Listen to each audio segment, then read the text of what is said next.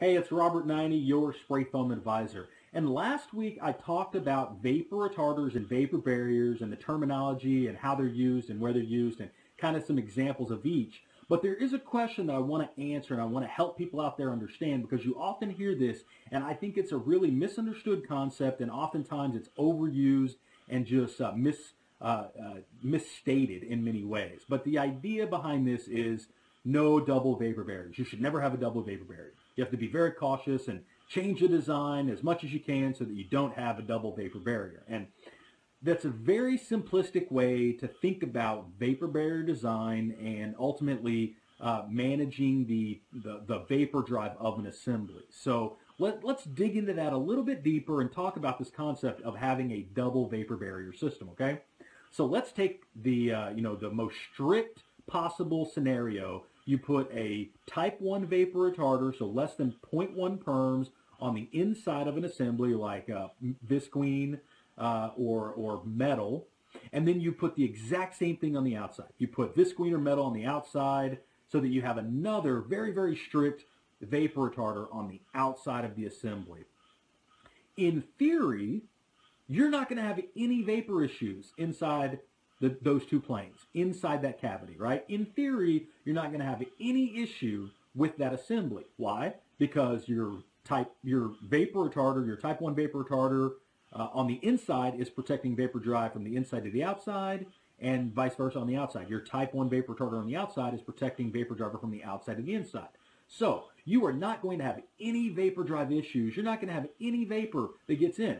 Now, why do I keep saying in theory? Because in the real world, no, it's very, very difficult. It's uh, it doesn't happen very often to have a vapor uh, barrier system or a type 1 vapor retarder or even a type 2 vapor retarder for that point installed perfectly. And so if you don't have a perfectly installed system, then of course there is a higher risk that you can get vapor into the system. And if you get vapor into the system, what happens at that point? So that's really kind of the fear is what happens when you get vapor into the system. And if you get vapor into it, in theory, it can go back out the same way it came in. But for that to happen, you have to have a reversal of the vapor drive. So you have to have uh, a significant shift in uh, temperature and, uh, and, and, vapor drive uh, for that to occur. And you might get that in some climates, but it's not going to occur in all climates, okay?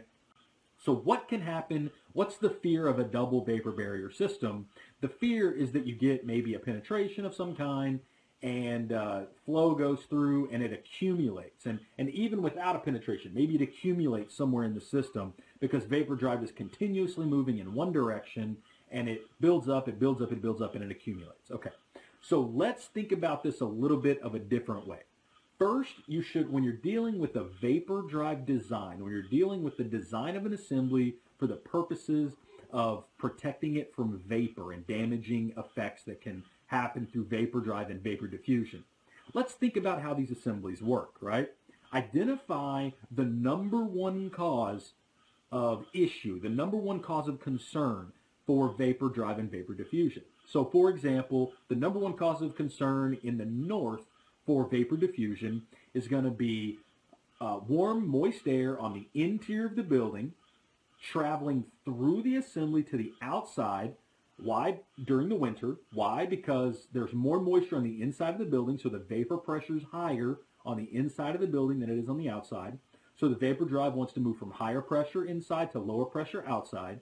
So the vapor drive in the winter in the north is going to be from the inside through the assembly to the outside. And it's going to be that way most of the winter in the north, right? So what happens if we put up a vapor barrier on the inside and we have one on the outside? Um, that vapor drive continuously moves in one direction and in theory it can build up, it can build up, it can build up and um, and you might have a problem, okay? But how do we address this, right? What What's the right way to think about it? Okay, so let's let's dig into this a little bit deeper one more time. Now, if you put that vapor retarder, that vapor barrier, less than 0.1 perm, uh, or just we'll say less than one perm even, a material that's less than one perm on the inside, and you put a material that's less than one perm on the outside, um, could you have issue? Yes, you could have issue. But let's talk about the way to approach this design so that you can mitigate most of those concerns, right? So we know that the major issue is vapor drive moving from the inside where there's higher vapor pressure uh, moisture that we've created on the inside of the building driving through the exterior assembly, through the wall to the outside, right? So what if we put, make sure we have the stronger vapor retarder on the inside.